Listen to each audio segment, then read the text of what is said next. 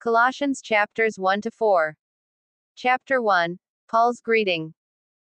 1 Paul, an apostle of Jesus Christ by the will of God, and Timothy our brother, 2 to the saints and faithful brethren in Christ who are at Colosse, grace be unto you, and peace, from God our Father and the Lord Jesus Christ. Thanksgiving for the Colossians. 3 We give thanks to God and the Father of our Lord Jesus Christ, praying always for you, for since we heard of your faith in Christ Jesus, and of the love which you have to all the saints, 5 For the hope which is laid up for you in heaven, of which you heard before in the word of the truth of the gospel, 6 Which is come unto you, as it is in all the world, and brings forth fruit, as it does also in you, since the day you heard of it, and knew the grace of God and truth.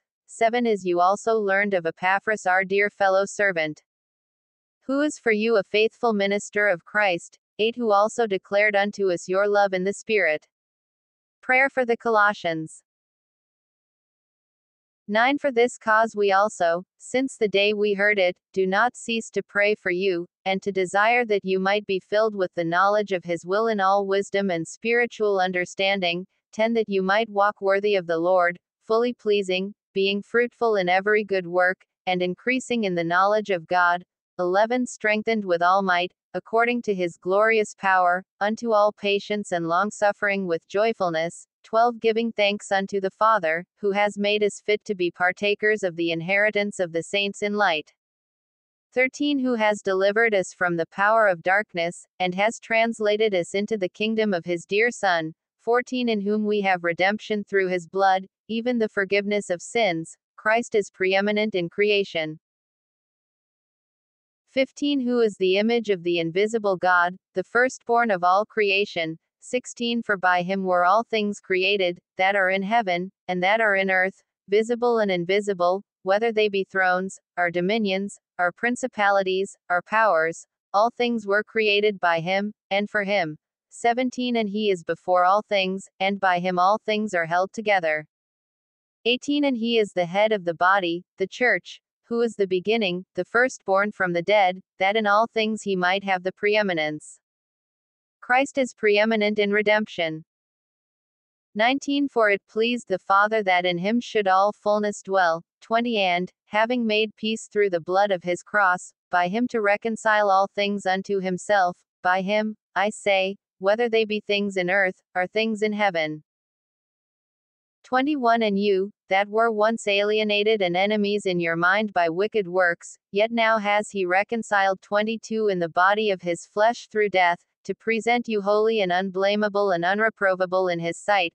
23 If you continue in the faith grounded and settled, and be not moved away from the hope of the gospel, which you have heard, and which was preached to every creature who is under heaven, of which I Paul am made a minister, Christ is preeminent in the church. 24 Who now rejoice in my sufferings for you, and fill up that which is behind of the afflictions of Christ in my flesh for his body's sake, which is the church. 25 Of which I am made a minister, according to the commission of God which is given to me for you, to fulfill the word of God. 26 Even the mystery which has been hid from ages and from generations, but now is made manifest to his saints 27 To whom God would make known what is the riches of the glory of this mystery among the Gentiles, which is Christ in you. The hope of glory. 28 Whom we preach, warning every man, and teaching every man in all wisdom, that we may present every man perfect in Christ Jesus. 29 For which I also labor, striving according to his working, who works in me mightily. Chapter 2 1 For I desire that you know what great conflict I have for you, and for them at Laodicea, and for as many as have not seen my face in the flesh, 2 That their hearts might be comforted, being knit together in love, and unto all riches of the full assurance of understanding, to the acknowledgement of the mystery of God, and of the Father, and of Christ, 3 In whom are hid all the treasures of wisdom and knowledge. Enticing words. For in this I say, lest any man should deceive you with enticing words. 5 For though I be absent in the flesh, yet am I with you in the Spirit, rejoicing and beholding your order, and the steadfastness of your faith in Christ. 6 As you have therefore received Christ Jesus the Lord, so walk in him. 7 Rooted and built up in him, and established in the faith, as you have been taught, abounding therein with thanksgiving. Vain philosophy. 8 Beware lest any man spoil you through philosophy and vain deceit, after the tradition of men, after the rudiments of the world, and not after Christ. 9 For in him dwells all the fullness of the deity bodily. 10 And you are complete in him, who is the head of all principality and power, the judgment of men. 11 In whom also you are circumcised with the circumcision made without hands, in putting off the body of the sins of the flesh by the circumcision of Christ. 12 Buried with him in baptism, in which also you are risen with him through the faith of the working of God, who has raised him from the dead. 13 And you, being dead in your sins and the uncircumcision of your flesh, has he made alive together with him, having forgiven you all trespasses. 14 Blotting out the handwriting of ordinances that was against us, which was contrary to us, and took it out of the way, nailing it to his cross. 15 And having spoiled principalities and powers, he made a show of them openly, triumphing over them in it. 16 Let no man therefore judge you in food, or in drink, or in respect of a holy day, or of the new moon, or of the Sabbath days, 17 Which are a shadow of things to come, but the body is of Christ. Improper worship. 18 Let no man deceive you of your reward in a voluntary humility and worshipping of angels, intruding into those things which he has not seen, vainly puffed up by his fleshly mind. 19 And not holding the head, from whom all the body by joints and ligaments having nourishment ministered, and knit together, increases with the increase of God. The doctrines of men. 20 Therefore, if you be dead with Christ from the rudiments of the world, why, as though living in the world, are you subject to ordinances? 21 Touch not, taste not, handle not, 22 Which all are to perish with the using winking face after the commandments and doctrines of men.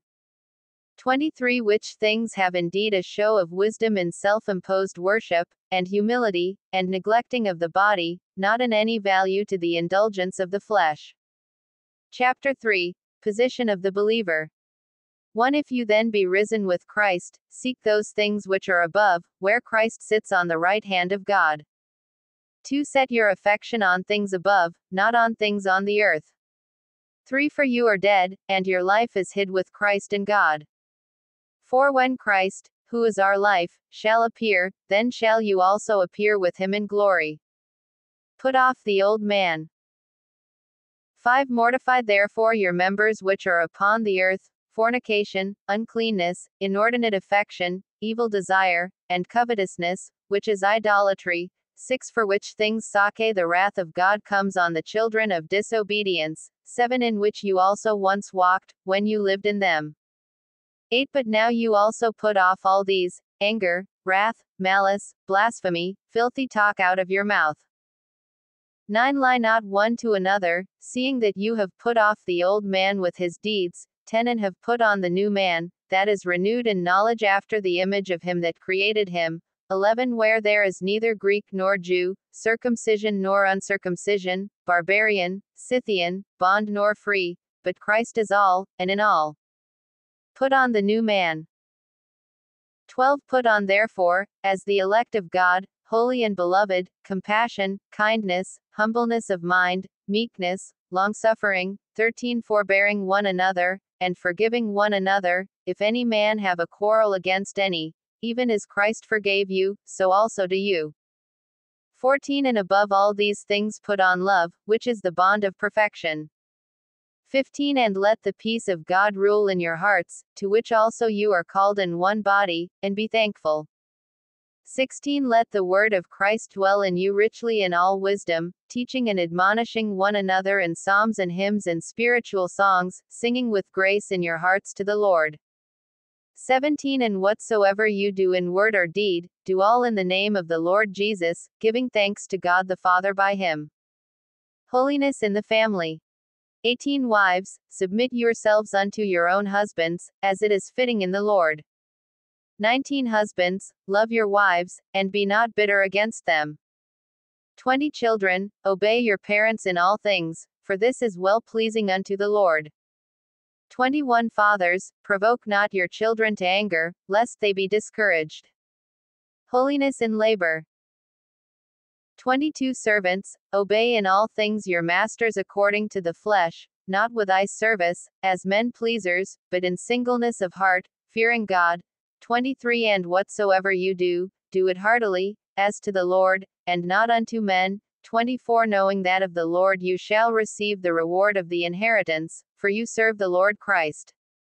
25 But he that does wrong shall receive for the wrong which he has done, and there is no respect of persons. Chapter 4 1 Masters, give unto your servants that which is just and equal, knowing that you also have a master in heaven. Holiness in public. 2. Continue in prayer, and watch in it with thanksgiving. 3. Praying also for us, that God would open unto us a door of utterance, to speak the mystery of Christ, for which I am also in bonds, for that I may make it manifest, as I ought to speak. 5. Walk in wisdom toward them that are outsiders, redeeming the time. 6. Let your speech be always with grace, seasoned with salt, that you may know how you ought to answer every man. Commendation of Tychicus. 7 All my state shall Tychicus declare unto you, who is a beloved brother, and a faithful minister and fellow servant in the Lord, 8 Whom I have sent unto you for the same purpose, that he might know your state, and comfort your hearts. 9 With Onesimus, a faithful and beloved brother, who is one of you. They shall make known unto you all things which are done here. Greetings from Paul's companions. 10 Aristarchus, my fellow prisoner, greets you, and Mark, cousin to Barnabas, concerning whom you received commandments. If he come unto you, receive him winking face. 11 And Jesus, who is called Justus, who are of the circumcision. These only are my fellow workers unto the kingdom of God, who have been a comfort unto me. 12 Epaphras, who is one of you, a servant of Christ, greets you, always laboring fervently for you in prayers, that you may stand perfect and complete in all the will of God. 13 For I bear him witness, that he has a great zeal for you, and them that are in Laodicea and them in Hierapolis. 14 Luke, the beloved physician, and Demas, greet you. Introductions regarding the epistle. 15 Greet the brethren who are in Laodicea, and Nymphas, and the church which is in his house. 16 And when this epistle is read among you, cause that it be read also in the church of the Laodiceans, and that you likewise read the epistle from Laodicea. 17 And say to Archippus, Take heed to the ministry which you have received in the Lord, that you fulfill it. 18 The salutation by the hand of me, Paul. Remember my bonds. Grace be with you. Amen.